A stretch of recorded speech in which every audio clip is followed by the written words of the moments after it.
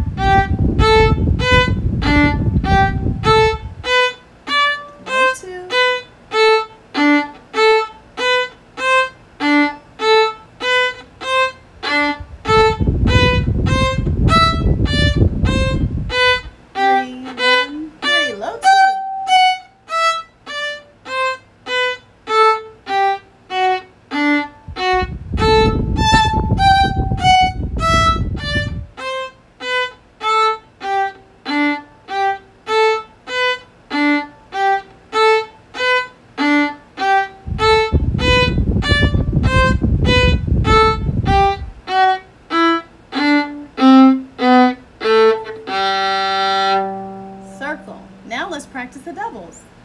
One, two, ready, and.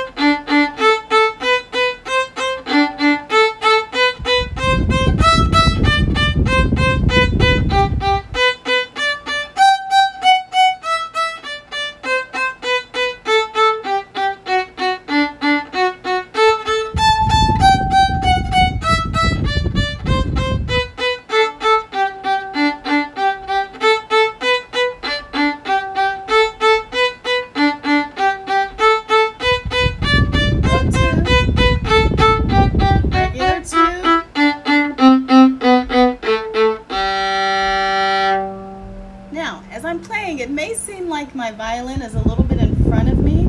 I'm moving it so that you can see my fingers. But when you play, yes, your violin should be out to the side. Exactly correct.